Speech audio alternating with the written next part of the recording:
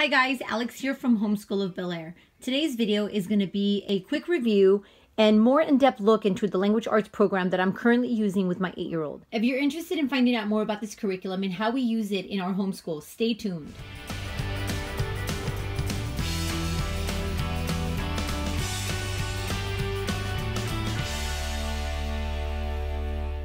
Okay, so one of the main things that I do want to point out about this curriculum, it is a Harcourt publication. So it is something that is most likely being used in public schools.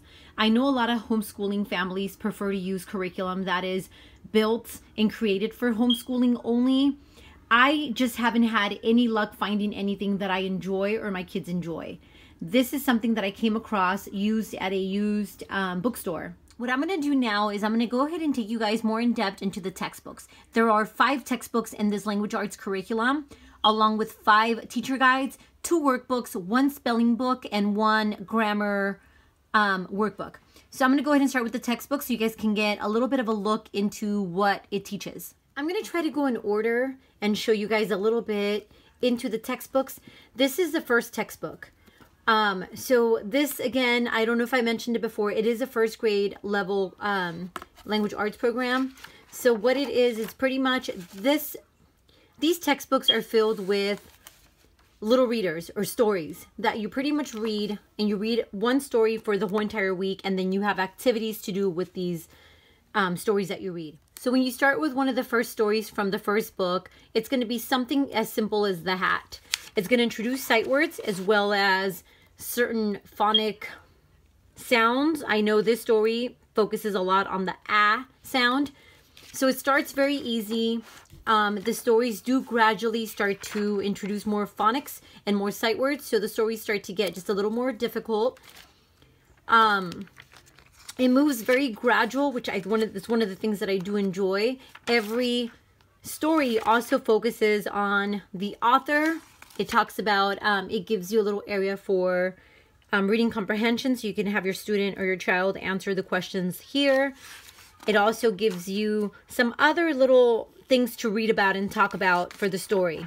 Um, what I like about it is the Making Connections area. The Making Connections area is almost like a cross-curricular type of um, activities to go with the story. So sometimes you get writing, social studies, or science, and you can choose to do these activities. The teacher guides go more in depth into what to do with these activities. I do usually, for every story, pick at least one of these to do with my son. So it's very hands-on. It's something that is very visually beautiful. The illustrations are so cute in all of the stories. As you can see, some of the stories in book one do start to get just a little bit longer, a little bit more sight words, more vocabulary words. You do get vocabulary words for every, um, insight words for every story. You can see them highlighted in yellow down here. Um, so again, this is book one. Each book, at least as far as I know, book one handles about six weeks worth of lessons. Um, again, you want to hang on to one story for the whole entire week. So I usually, for every story, I just consider it a lesson. So it's pretty much six, six lessons per textbook. Okay, then you have book two. Book two, um, you'll notice it phonetically starts to teach just a little bit more. You get a little bit more into social studies, a little bit of science, because you have to do the um, how a chick grows, the life cycle of a chick. Um, you get all your words to remember, which are your vocabulary words. Um, again, you do the um, think and respond. I'm trying to think what else. So you get the making connections area again, where you have more of that cross-curricular activities. You have your science connection, your art connection, your writing connection. A lot of the writing connections are a little bit more, I take a more like a draw and write kind of thing. That's usually what I have my son do. Um, so let me get to one of the last stories here. So one of the last stories here is more of a nonfiction about fish and the um, ocean life. So I kind of like that also, that not everything in this book is fantasy and illustrated. There's a lot of books or stories in here that are also nonfiction. Um, so again, then you get into, this is the end of the book. It also introduces poems. Again, the teacher guide tells you when to introduce the poems um, of what day of the week when you're focusing on a certain lesson. So that's book two. Then there's book three. And again, I just want to give you guys a look as to how they move. Um, this one I believe is a little bit longer. I believe this one has about eight weeks worth of lessons. one, two, three, four, five, six, seven. Oh, seven of them. Um, so this one starts off actually with the nonfiction about caterpillars. Again, if you guys notice, the um, stories get a little bit longer, just a little bit more difficult to read. Um, again, you have your little sight words, or not sight words, I'm sorry, your vocabulary words. Um, and it just kind of goes on. This one seems to have a little bit more um, nonfiction stories and then a little bit of fantasy. Um, the readers are beautiful. I feel like the illustrations are beautifully um, illustrated. I love that it gives you facts about the authors for pretty much every single story. Um, trying to think. The end of every story does have, um, or every book does have a little writer's handbook. shows you how to spell certain words if you need to use that. So this is the one we're actually currently on. This is book four. So book four also handles about seven weeks of lessons. Um, the stories obviously get just a little bit longer. Right now we're actually on the first story, A Bed Full of Cats. Um, it introduces, if you guys can see from the first book, this one introduces a lot more vocabulary words um, along with the sight words. The Even the print is a little bit smaller on the stories. Um, and it just kind of moves on. Um, again, you get some of your nonfiction stories um, along with your little fantasy. I think this one actually, there's a robot story, which actually I'm really excited about. Um, so yeah, so like I said, you guys can see how it moves. It goes, you know, from the first book to this book, you can see how much the print just gets a little bit smaller. The stories get a little bit longer. So obviously by this point, your child should be reading a lot better. Um, so again, um, the teacher guide actually shows you what to teach when it comes to phonics, what to teach when it comes to grammar, spelling, um, and I'll get more into that. So I just want to show you guys real quick. So this is book four, and let me go ahead and do book five real quick. The last book of the uh, language arts program is this book. This is book five. So book five, again, this one I believe actually has eight weeks. Um, I believe it's eight lessons on this book. So this in this book, you're going to notice that the stories are a lot longer. I believe even when it comes to the vocabulary words, you get a lot more per lesson. Or it's about the same, I guess, from book four. Um, so yeah, so by this point, obviously you should be reading at a second grade level. Um, I do enjoy these illustrations. I do enjoy most of these stories. My son actually does enjoy this program quite a bit. Um, and I'm actually excited to be starting second at the second grade level. Um, we just feel a little bit behind, but that's okay. Again, we're taking off from book number four. So now what I'm going to go ahead and do is I'm going to show you guys some of the workbooks that come with these stories. Okay, so these are the two main workbooks. This practice book here handles for the first three textbooks, and this one has all the worksheets for the last two books the way that this works, and the, again, the teacher guide tells you what day of the week to give what activity.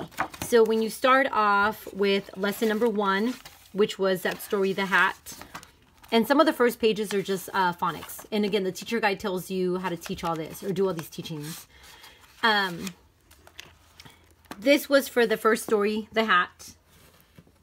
I'll pull it up so you guys I'll pull it up so you guys can get a better look at it and see how they just kind of go together. Um, so these are going to be for lesson one. Again, you only get three vocabulary words for your um, for that first story. Obviously, phonetically, we're only introducing the a, the short a sound. Very simple, very um, very easy. So now this is these would be the activities for that, and the actual workbooks will tell you lesson one. And you pretty much, I believe there's about five pages per lesson. So one day, pretty much one day a week. I believe there's some that you do twice. But it just depends. Like I said, it just depends on the teacher guide. So then it would just go to here. So these pages here are going to be for that story. So you get your um, spelling practice page. You get some phonic practice. You get some grammar practice, some more phonics practice um, some sight word practice here, and then some more phonics practice.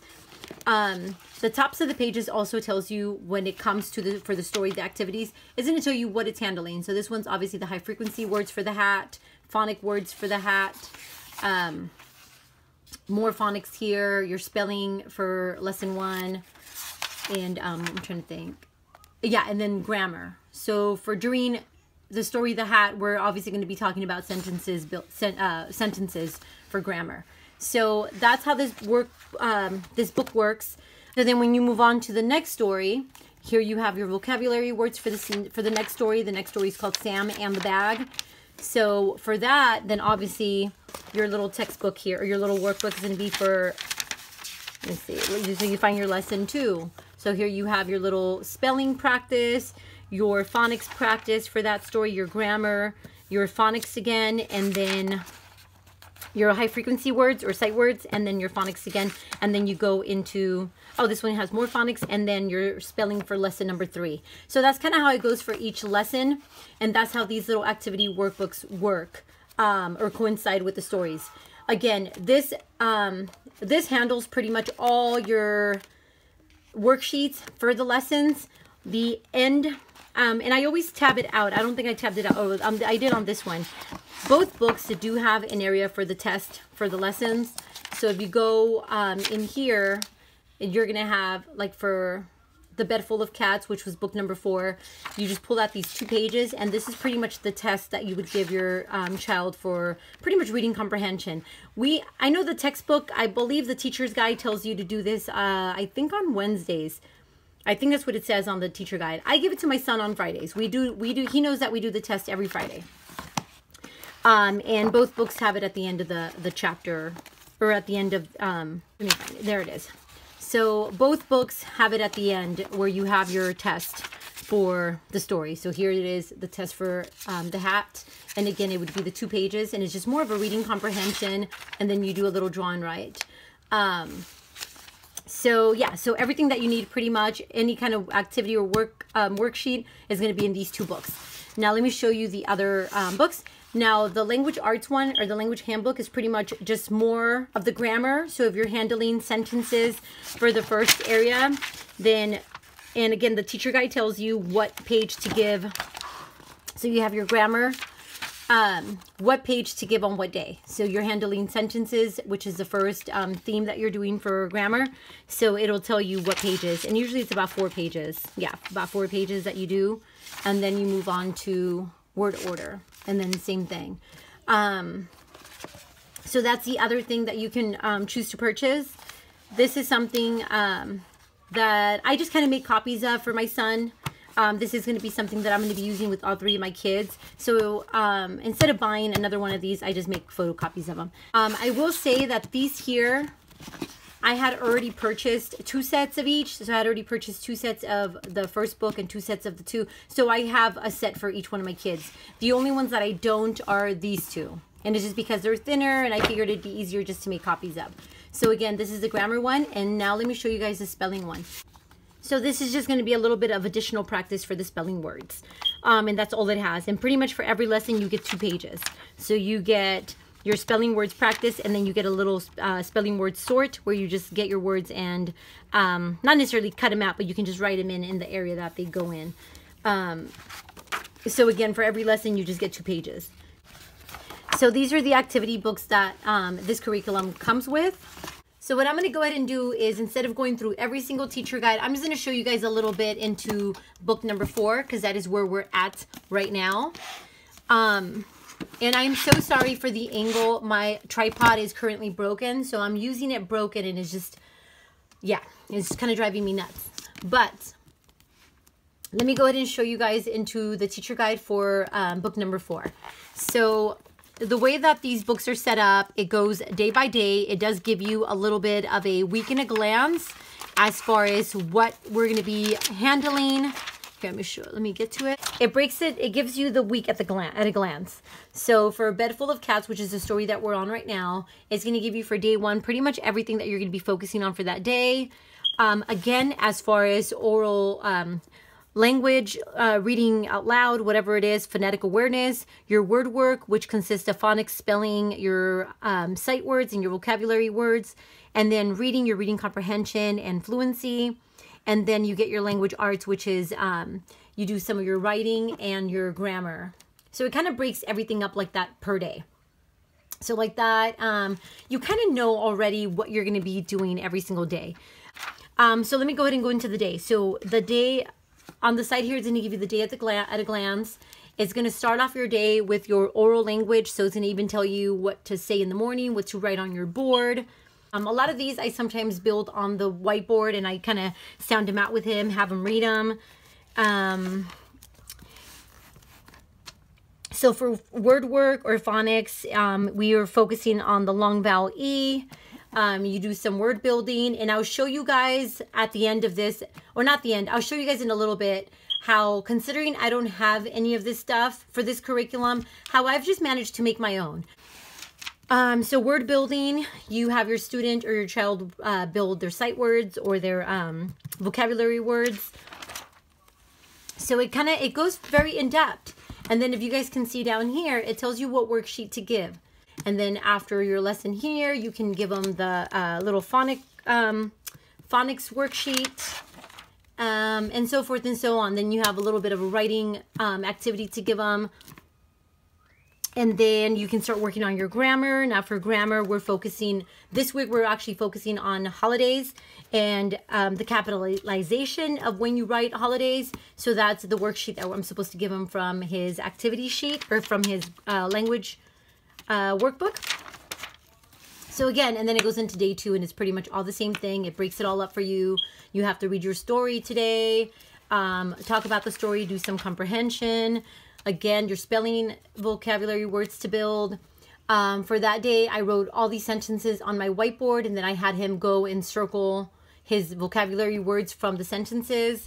Um, again, it tells you what activity sheets to give. So yeah, it's very, um, it's very teacher intensive, but it is something that if you do have the teacher guide, you're not really guessing as to what you have to do next. It tells you everything.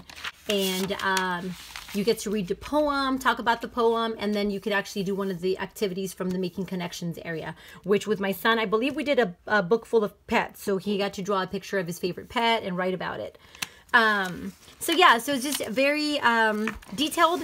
Um, each teacher guide also has a little area where it gives you pages that you could actually print out um, for extra practice. So these are like little sentence building um, strips that you can photocopy and just have your child work on it. It tells you what lesson it is for. Find this other, oh, there it is. It also, for every story, it gives you little character um, cutouts that you can just kind of photocopy. And there's a certain day, the teacher guide will tell you um, what day to give this to your student to have them color it, cut it out, and then um, what I had my son do was um, color them, and then I was gonna have him retell the story to my other son. Um, to see how well he understood the story. So pretty much for every, oh sorry, for every story, it's going to give you a little bit of a cutout also to make a copy out of. So I just think it's super cute. A lot of the, because it is a, the teacher guide, it is going to have even like your um, sight words that you could, or your vocabulary words you can print out and um, have your student cut them out like flashcards. I don't do that. I actually, I'm going to show you guys how I just make my own. Um, so that is um, as much as I can tell you guys about the teacher guide. It's just kind of the same as you go on per lesson. Okay, so now what I'm going to show you guys is how, considering I don't have some of these components that go with this curriculum, um, how I just make my own. So this is what I use for my son when we work with this curriculum. I've printed all of these on cardstock. This is how I've made his, um, the flashcards for his vocabulary words and sight words. And then these are some that I found on Teacher Paid Teachers. I believe I paid like $5, but it's a whole set of just phonetic um, flashcards, and I absolutely love them. So because we're focusing on the E, long E sound, I pulled these aside so we can work from. I also as far as these go, I kind of just made my own and they're just printed again on cardstock. I laminated them because I wanted to have something that I can use with my youngest one as well. Um, and she could actually, and I made it so she can trace the letters. Um, these, you don't have to trace them. I believe it tells you that you can have your, your uh, student trace them with your finger or whatever. But I wanted to make it more traceable. As far as the word building ones, I just printed out the alphabet on cardstock and I believe I did it but one and a half by one and a half um, size. And these are the ones that I use instead of these for word building. And I just kind of set up the letters that they give me for the week. I set them up in here and I have them use this little pocket chart, which is one of the little standing ones. And I'm sorry again, my tripod is broken, so I can't really move it. One of the little stand self-standing pocket charts that I got from I want to say, I think I got these from Walmart at the back to school sales. Um, and it's just a small pocket chart. So this is what I set up on his desk and I have him build his spelling words and sight words with the letters given. So this is how I use it. This is what I made um, since I don't have these. Okay, so I wanted to show you guys real quick how I set it up inside of his workbox. So one of the things, sorry guys. So one of the things that I do is inside his workbox, all he really keeps in his workbox is his textbook um, his extra practice notebook. These are the extra printables of supplementary work that he can do. This isn't something that I make him completely um, complete. Um, so it's not something that I worry too much about. If we have time to do some supplementary work, then we'll do it. If it's not like for some, for instance, like these aren't completed yet, and some of these aren't completed yet, it's no big deal. Um, so yeah, so this is just extra supplementary work. So I keep that in his workbox.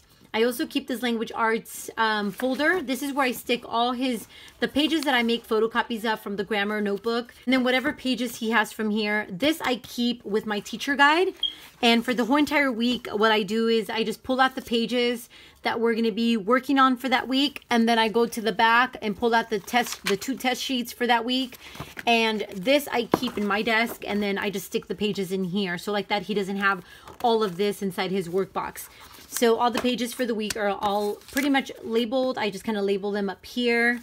Um, I go through the, uh, the teacher guide and I just figure out which ones I'm gonna he has to do on what day and I just write it on the top of the page. So that's how I set it up in his workbox. He also has his language arts he also has his language arts notebook. This is a uh, little notebook that we created. Um, we what I have him do every Monday is before we read the story, I have him write down the genre, um, the author's name, and the words to remember. So all his vocabulary words go in here, and then that's pretty much it. And then usually on Tuesday or Wednesday, I'll have him do one of the other little areas of the uh, making connections area. So here, like a, again, we chose to do a book full of pets. So he had to, the activity was more like a drawing right where he had to pick his favorite pet, draw a picture about it, and he was supposed to write about it. He didn't end up getting to that. Um, so I just kind of set it up ahead of time for all the different stories. Um, so like that, I don't have to do this every week. I already just kind of sat down one day and did all of them. So that's just the way that we do it. So this is kept inside his workbox. And then inside his spelling workbox, I keep the spelling practice book. And this again is a copy that I made of the actual, the real one. And it's just because like, again, I'm going to be using this with my other two kids. So it's not something, it's something that I want to reuse.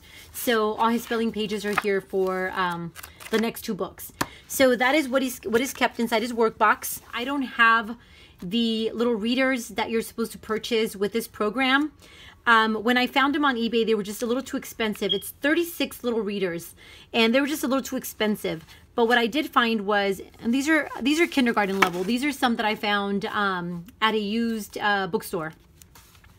And these actually, these come in a big workbook style of uh, book. I don't know how to explain it. I guess I would I would only be able to explain it if I can show you guys. But it just comes in a big book, and you have to. The whole book has these readers in them, and all you do is tear them um, tear the pages out, cut them in half, and then staple them together. Um, but I love these because they're very inexpensive and it comes with a lot of readers. So these are some, these are kindergarten level again, like I said. But these here, these are from the Scott uh, Scott Foresman phonics system. And um, these little readers coincide, well, some of them do, with some of the phonics that are being taught in the um, the books that we're using. So, like for instance, for this week, we're focusing on the long e vowel sound. So here, I was able to find this one that focuses on the long e vowel sound. So this is a little decodable book that he's been reading actually this whole entire week, um, a pack full of seeds. So, and I labeled them, the green ones are first grade level and the yellow ones are kindergarten level. So I have a ton of them. And these also came in a big um, book, kind of like this one. Um, and I believe I purchased it for like $3 or something. And uh, kind of how this one, if you look at the back of one of these workbooks, you get like the little, you get a few little readers. Let me see if I can find them. Because I know this these books have them. Oh, there they go. So see, it gives you little readers. Um, well, these came from a textbook like this that all it had in it were the little readers. So all you had to do was tear the, tear the pages out and then fold them in half. And um, that's pretty much how they came in the book. They pretty much came like this. All you had to do was tear them out and then fold them in half. And there you have your little, um, little reader. Um, so yeah, so again, I have the kindergarten level and then I do have the first grade level. And again, it's for me, I feel like it's cheaper than buying or less, I shouldn't say cheaper. It's less expensive to buy them like this and to buy a bunch of, you know, like the, the, I forgot what they're called, like the actual books that you buy for like $4 at the reading ones. I forgot what they're called. Um, at the bookstore. So this is definitely a way cheaper way to go. And I mean, that's just what they are. They're just like little readers. And I mean, if you guys know me, you guys know that I'm I'm a simple person. I don't even mind that the pages aren't colored. My kids don't mind that the pages aren't colored. They actually think these stories are real cute. So yeah, so I'm going to try to link all this in the description box. So if you guys are interested in these little readers, um, I've purchased mine on Amazon. So I can definitely link those in the description box. But um, for now, guys, that is it. That's all I have for you guys today. Again, let me know if you guys have any questions on any of the curriculum that I just showed you guys. Um, again, I want to apologize for my tripod being all sorts of crazy today. Um, if you guys have questions, please let me know. And for now, thank you for watching and we'll see you next time.